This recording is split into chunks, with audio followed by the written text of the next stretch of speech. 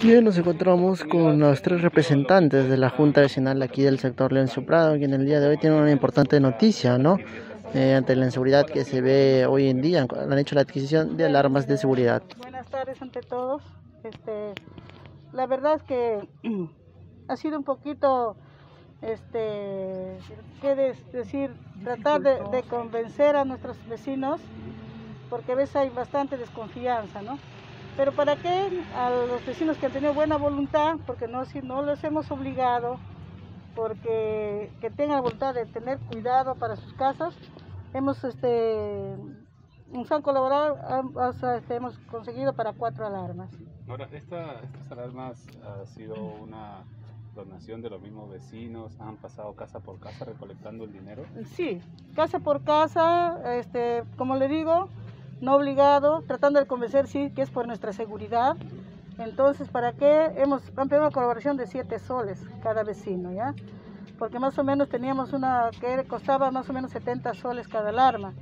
Pero en sí, con estos que, cambios que están ahí, nos ha costado un poquito más.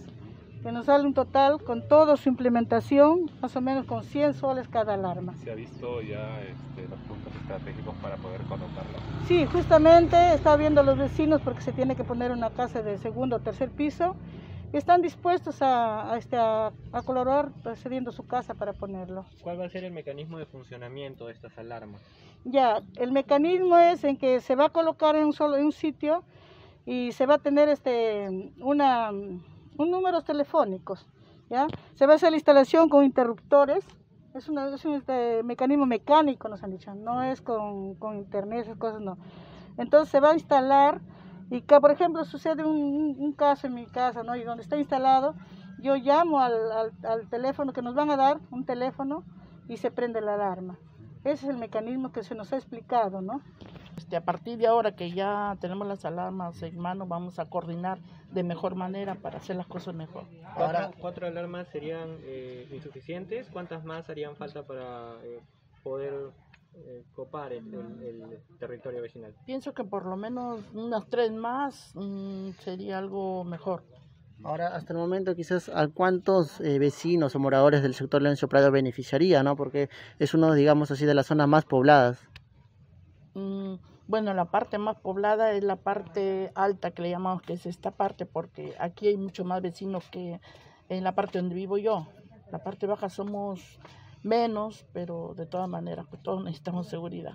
Señora Meche, la incidencia en cuanto a la delincuencia por aquí ha bajado, ¿cómo, cómo se está viendo? Porque Leoncio Prado Mire, era una zona donde era de para, llamada zona roja, ¿no? Para nosotros, como te digo, cuando la pandemia a veces trae dificultad, trae dolores, cosas, pero en sí, en cuanto a seguridad, nos vemos como que más favorecidos porque están dando vuelta tanto la seguridad ciudadana, la policía, o como los cachaquitos, ¿no?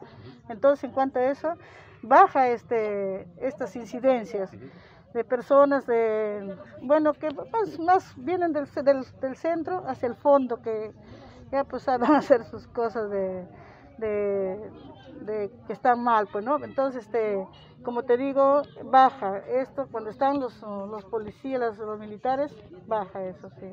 Todo esto se ha hecho en coordinación con participación ciudadana. Es, hemos tenido mucho apoyo con el señor Renato Mariños y las juntas vecinales en sí, ¿no? Ellos bastante apoyo porque en sí nosotros en sí no, no sabíamos qué hacer porque habían bastantes formas de, de diferentes alarmas. Habían otras más carísimas que sabíamos que acá no nos iban a apoyar. Con siete soles, bueno, ya ha sido más accesible. Y como te digo, son pocos. Por ejemplo, en la parte baja, sí todos han participado. ¿ya? Pero acá en la parte alta, este, no, no, no todos, pero como yo les he dicho a los vecinos, si ustedes más adelante se, se, se animan a querer poner su alarma, se va a seguir, sí, sí, puede seguir comprando, porque en sí estoy, como dice, se puede decir, este, vamos a ser bien, bien, como dice, se les va a dar el dispositivo a las personas que han colaborado. Ahora, señora, ¿no? este, ¿quién va a instalar estas alarmas? ¿Se ha visto también la persona? Sí, estamos viendo una persona, el mismo técnico que instaló en Juan Velasco, uh -huh. que sabemos que es una persona bastante, que nos, sí, nos, y también cuanto a la economía, ¿no? Porque acá prácticamente nos va a salir el costo de la alarma, ya la, la instalación tendremos que como junta vecinal nosotros este, poner eso. ¿Para cuándo ya las tendrían operativas? Mira, en esto, recién hoy día jueves, viernes, sábado, quizás en el día lunes o martes, queremos hacer este, ya que las instalen. Porque muchos hay que han dado su casa, pero otros tenemos que ver porque tiene que ser una, en segundo o tercer piso.